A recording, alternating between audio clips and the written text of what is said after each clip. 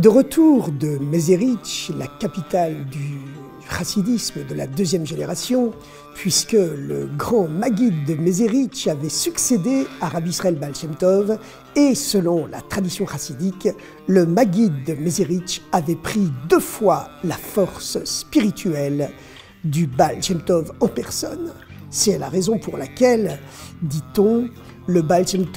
avait eu 60 disciples dans sa yeshiva, les fameux Shishim Giborim, les 60 héros du Cantique des Cantiques, du Shirachirim. Et le Magui de Mezerich, lui, eut exactement le double, 120 disciples dans sa yeshiva. La quantité ne reflète pas toujours la supériorité qualitative, mais certaines fois, il arrive que la quantité deviennent une preuve de la qualité, comme on connaît l'histoire du prophète Élie qui avait béni son futur successeur, Elisha, Élisée, en lui, en lui souhaitant de prendre deux fois sa force spirituelle, bénédiction qui se réalisa, mais qui se matérialisa aussi sur le plan de la quantité, pas seulement de la qualité, puisque le prophète Élie, Eliyahu Hanavi, avait ressuscité une fois un mort, mais que son disciple Élisée, qui avait pris deux fois sa force spirituelle, ressuscita deux fois un mort. Telle était donc la supériorité du Maguide de Mézérich, si l'on peut dire, sur son propre maître, Rabbi Israël Baal Shem Tov, puisque le Baal Shem Tov avait eu 60 disciples, mais le Maguide en avait eu exactement le double, 120. Lorsque Rabbi Shneur Zalman, qui donc dans la tradition chassidique demeure célèbre sous le nom de Alter Rebbe Admurazaken, c'est-à-dire le premier rabbi de Lubavitch, tout simplement, l'ancien rabbi, comme on l'appelle, lorsque donc Rabbi Shneur Zalman, le futur auteur du Tanya et du Shulchan Aruch, revint de son premier séjour à Mezerich, chez lui à Liozna, dans la ville de Russie Blanche, où l'attendait son épouse, Sterna Sarah, il trouva la ville de Liozna en proie à une véritable guerre civile spirituelle ouverte le dévoilement du chassidisme, le dévoilement, la démocratisation totale des secrets de la Torah, qui jusque-là avaient toujours été cachés à la majorité du peuple juif et réservés au seul très grand maître,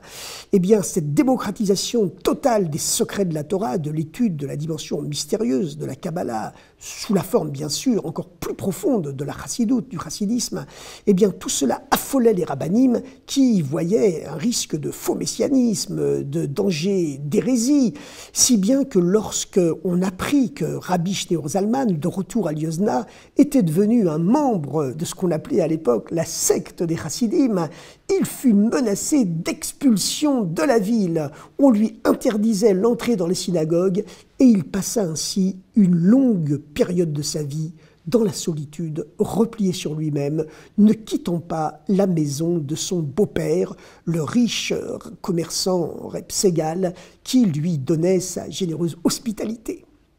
Mais le beau-père de Rabbi Shneur Zalman, Reb Segal, euh, tout aussi ouvert d'esprit qu'il fut, la preuve c'est qu'il avait donné sa fille en mariage à Shneur Zalman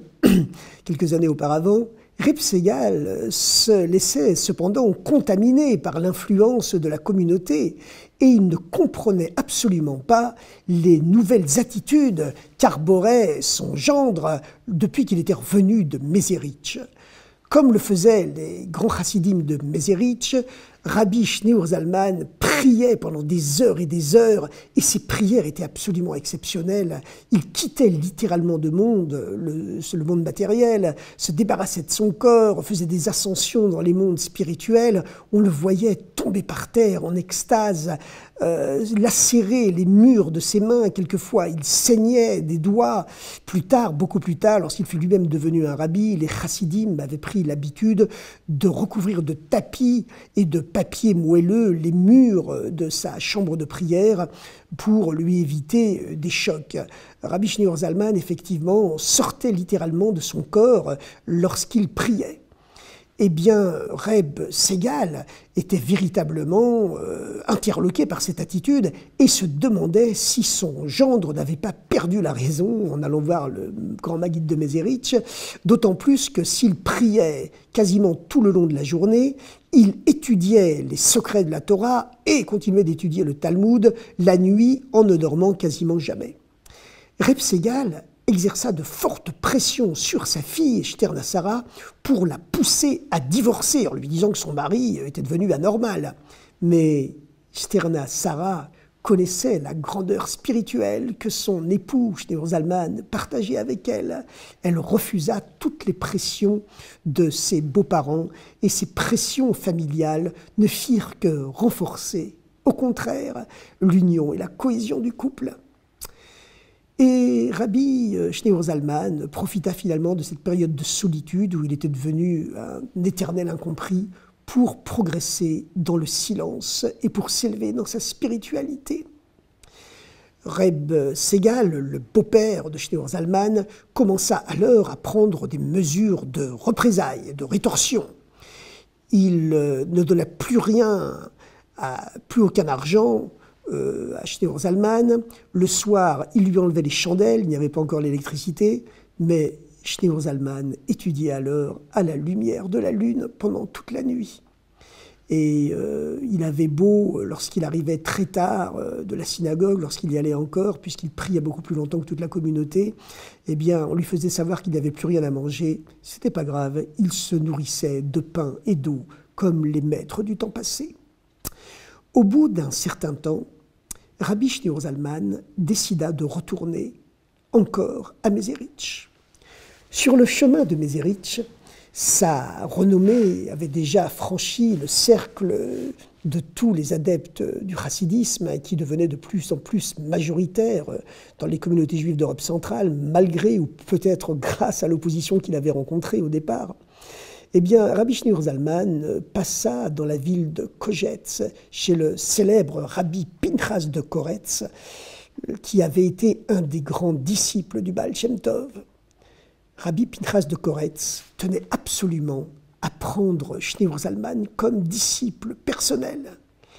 Il fit tout pour le retenir à Koretz et le garder comme son meilleur élève. Reste chez moi, insista-t-il auprès de Rabbi Schneur Zalman, reste chez moi et je t'apprendrai le langage secret des oiseaux, le langage du vent dans les arbres, le langage des animaux. Et je t'apprendrai à faire des miracles, à guérir les, malades, à deviner ce qui se passera dans l'avenir. Rabbi Schneur Zalman répondit Ce qui m'intéresse de comprendre, c'est ce que chaque juif doit savoir, chaque juif de base doit savoir, c'est-à-dire la compréhension profonde du mystère de l'unité céleste de Dieu et de l'unité terrestre de Dieu avec son monde. Et cela, on l'apprend très bien à Mézérich. Lorsque Rabbi Schneur Zalman s'approcha de Mézérich, le Maguide de Mézérich en personne sortit de la ville à sa rencontre et lui dit Viens,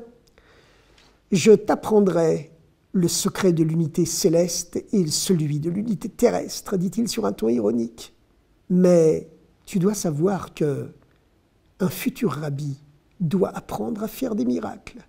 Je t'apprendrai donc aussi le langage des oiseaux et celui des animaux, ainsi que celui du vent dans les arbres. Rabbi Schneur Zalman resta longtemps à Mézérich. Le Maguide fit tout pour qu'il devienne le maître élève de son propre fils unique, celui qu'on surnommait Avraham, le Malach, l'ange. Le fils unique du Maguide de Mézérich était en effet quelqu'un de totalement coupé du monde, d'où lui venait son surnom de Malach, d'ange coupé des choses terrestres. Le rabbi Schneur Zalman, qui lui était expert dans la dimension logique et rationnelle, le corps de la Torah, le Talmud et les codes de loi, eh bien, la partie législative, Rabbi Schneur Zalman enseignait à Abraham, l'ange, la dimension rationnelle et logique de la Torah, le Talmud et ses codes de loi. Par contre, Abraham, l'ange, enseignait en retour à Rabbi Schneur Zalman la dimension profonde, secrète de la Torah, la Kabbale et les secrets de la Chassidoute. Mais Rabbi Schneur Zalman ne pouvait pas se retenir. Et lorsque l'heure d'étude de la Chassidoute était passée, il profitait du fait que son comparse, son compagnon qui, était face, face à face avec lui, Abraham, l'ange, eh était un peu au-delà du monde, ne se rendait plus compte de ce qui se passait, pour euh, subrepticemment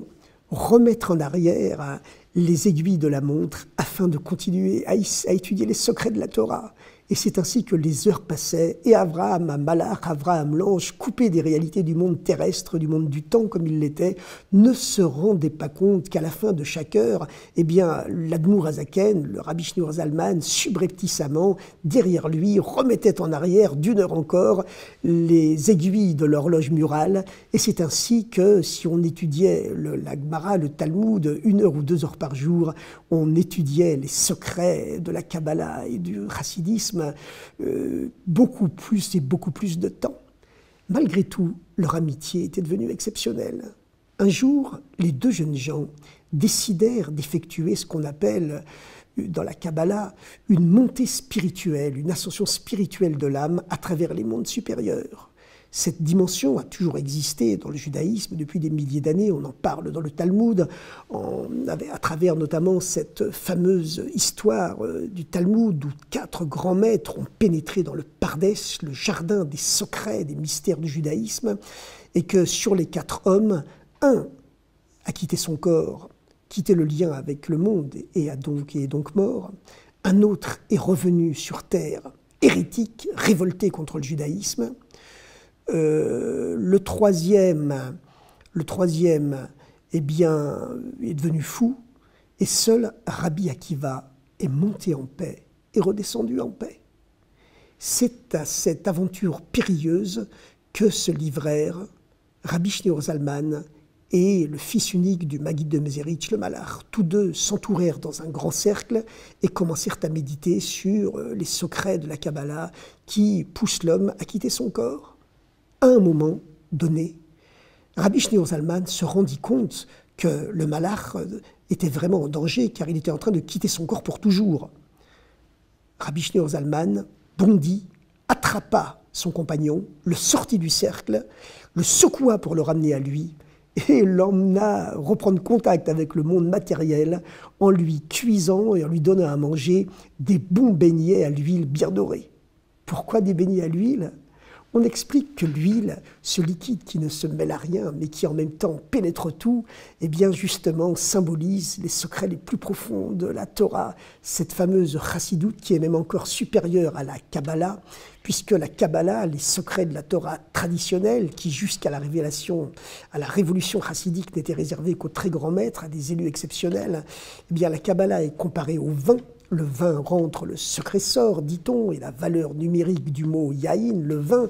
est égale à celle du mot sod, le mystère. Mais la Kabbalah, justement, euh, est réservée à de très grandes âmes, à des êtres exceptionnels.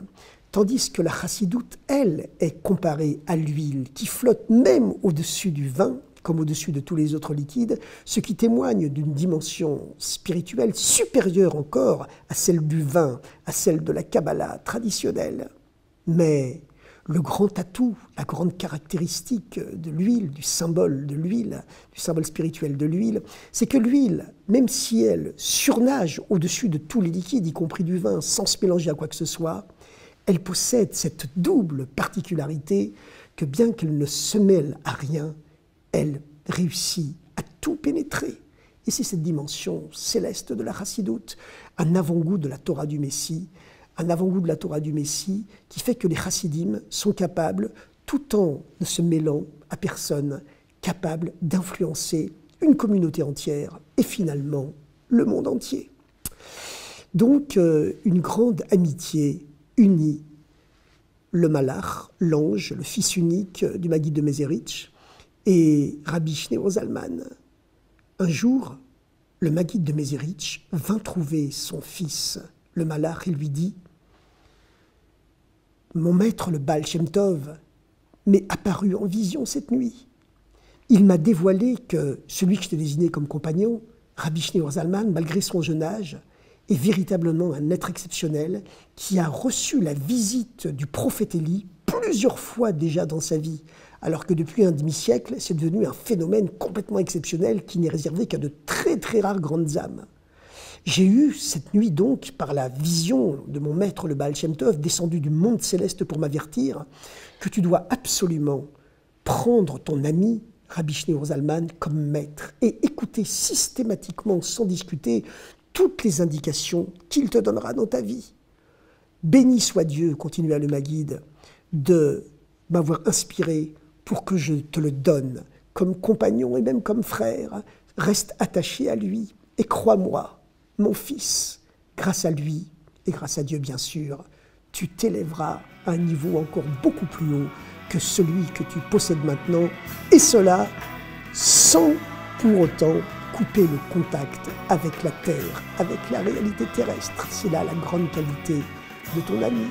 Schneur Salman.